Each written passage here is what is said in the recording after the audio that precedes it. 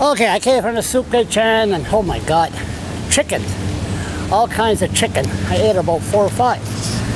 I met somebody, saw him last week, saw about the cops went after this guy twice in two days and you know, he was a little bit worried there, didn't know what I was doing, but I was just filming, you know, to protect him. You don't know what the cops are going to do. Then he came over the farmer's market, sort of apologized, and I started a conversation with him. Now, listen to this.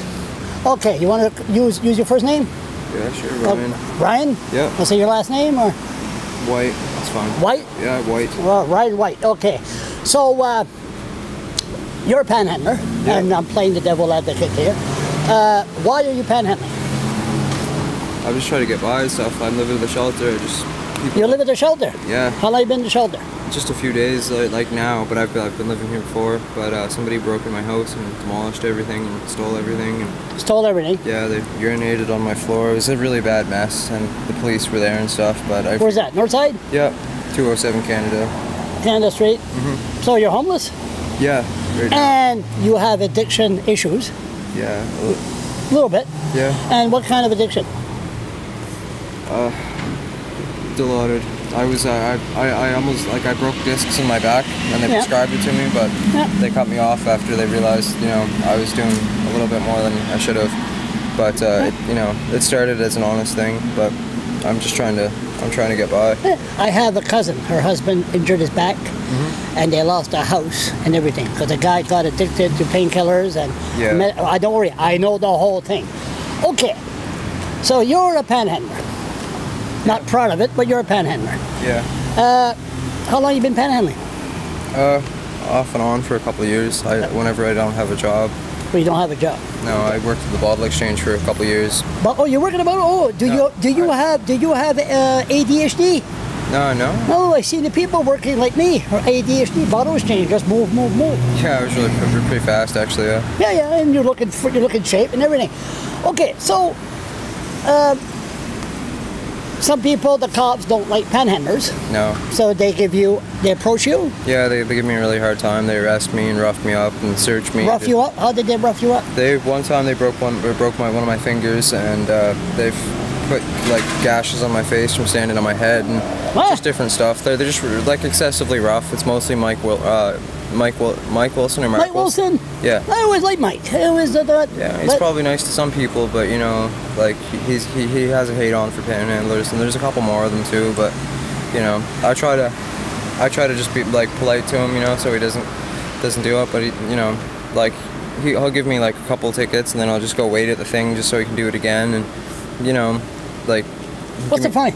It's 140, and I have I have over 30 of them now. A hundred and forty dollars. Yeah. Uh, how are you going to pay that? Uh, I have to put little bits on it a month and get extensions, but they won't do that forever. Eventually, like Who's giving you an extension?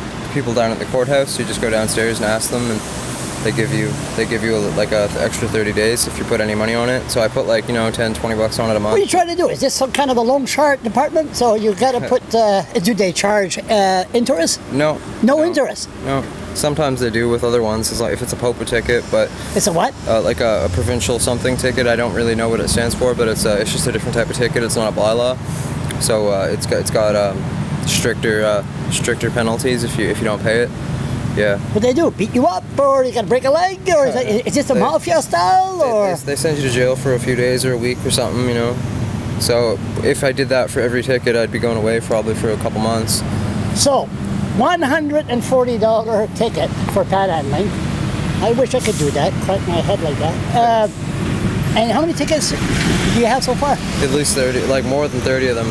Because I lost count after like 25 or so, and then, you know, I'm getting, like, I got two yesterday and one the day before, and then the last time I was talking to you, I had at least 30, so, but, Thirty tickets. yeah, but I have more than that now, You- probably like 35. You good at math? How much is that? Well, four of them would be four $4,200. Four of them would be Plus five hundred, right? What? Four tickets would be five hundred bucks. A little more, yeah. Yeah, a little more. Okay. Yeah. So we're talking about thirty. Yeah. Hmm? We're up to about three to four or five thousand dollars here. No, it's it's over five thousand dollars. Over five thousand dollars a ticket for panhandling. Yeah. Okay, so are they going to take the parking meters? Uh, the you know they, they have those meters, kindness meters. Are they going to help you I- pay the fine? I was strongly considering like ripping them out. Actually, you were thinking. like she, I was panhandling beside one the uh, like yesterday, and the woman came up to clear it out, and then you know she was kind of snobby with me type thing, and you know saying- Snob? yeah, like you she- mean from the meters collecting the Yeah, meters? like I asked her for change. I didn't know who she was, and then she was like, "No, I'm here to collect the change from the kindness meter." Actually, she's like, "Why don't you find a job?" Like, you know, like something. But she said a little more than that. But What'd you she know, say? she she just you know made like just kind of angry, like you know, looking at me like a little rude. But she was saying like, you know, you shouldn't be doing this. Like, you know, we got like got to put a stop to it, kind of thing. But it was her and another girl going around. She had like big big sandwich bag full of change from all the meters. But um, She, did, Yeah. she, she, did she tell you to get a job? yeah, So she's collecting me money from the kindness me- Yeah. meter, but she wasn't too kind to you. no, apparently not. She told you to get a job. Yeah. Just remember that guy at the market though, like when he told you to fuck off. Yes. Yeah, was. Same thing, same yeah. attitude. Well, not quite as harsh, but I mean, yeah, the same idea. No kidding. Yeah, they don't understand, you know. Like I, I have no fam. I'm literally like an orphan. I have, no, I have no family at all. But I mean, that's not really an excuse. But like, I just, I've, like when I was when I was 19, my mother dropped me off at the shelter. Basically, well, she didn't said she didn't have enough gas to drive me all the way to Fredericton, so she dropped me off in Chipman at the gas station, at the Irving, and then I had to hitchhike the rest of the way. Then all I had was the clothes on my back and one change of clothes in my backpack, because they only gave me five minutes to pack my stuff and get out. My own mother and her stepfather. You don't sound like a bad guy. How can how can you live in with 40 men in a shelter in the same room? Myra, are you sure, Myra? Thank you. Have a good. Thank you very much. No, no. no so, so well, Yeah. and this is from a. She's a really, she's a really nice woman. Like I used to live like right beside her and stuff. She's, Oh, really? she's really kind. Yeah. That was some nice of people her. some people like you know get like look down on her kind of things because she she she can be like annoying to some. But you know I, I give her a chance. I don't judge people for that No, kind of stuff. no, no, no, of course not. So, what do you want you from life? I just want to get back on my feet. Honestly, if I get in like a new apartment and stuff and a better job, so I got to stop living. You know, such a degrading lifestyle. Like it's, it's not what I want to do. Why don't you ask me what do I want from life? What do you want from life? I don't know, just peace of mind and uh, maybe uh, let the cop to tell them the cop to apologize to me and leave me the hell alone. Anyway, never mind that. It's going out of out of hand. So the bottom line, what's going to happen with you? Four or five thousand dollars with unpaid Yeah. panhandler tickets. That's Uh, at least a couple months in jail. two years in jail. No, five years. It wouldn't Uh, be that much. It would be at least two or three months, though. two or three months in jail. Yeah, because for each ticket it would be three to four days, because they, they make you stay longer. Usually it's fifty, like hundred bucks a day usually for fines, but for like bylaw fines, I'm not sure why, but they make you stay longer, so it's only like fifty bucks a day.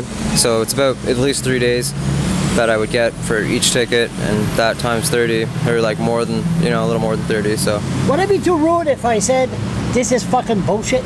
No, I guess it, it is bullshit. You know, like they they, they give me they, they they charge me money. You know, for trying to make money, and I'm I'm really polite with people. Like I smile, I call them sir and ma'am. I don't disrespect anybody. But there's some people that you know they're just so hateful. Like you know, calling me a piece of shit and everything. Why don't like every but like every second car that drives by is like you know got something to say type thing. But you know, I just smile at them and say have a nice day. You know. Methadone, have you tried that? Uh, I'm, I'm actually on the waiting list right now to get on methadone. On and the waiting list. yeah, they have they have quite a waiting list. I thought that was done and over with. What the waiting list? Yeah. I don't think so. No, No? no. You're still a waiting list on methadone? Um, yeah, I was talking to When's the last time you checked? I was talking to Dr. Logan uh, like a couple weeks ago or something. She said she would call when How did Uh, they call you? You're homeless. no, I meant they have a phone at the shelter. Shelter. Yeah. I couldn't live there. Either I No. kill somebody or somebody will kill me. Yeah, they have bed bugs and stuff. They got bed bugs in the shelter? Well, that's Yeah. another story for another day. Uh, you Okay. had no bed bugs on you there? Everything No, no, fine? No, Okay. my, I have a high bed and I, I will search it like a couple times a day. Keep up. Just hang in there.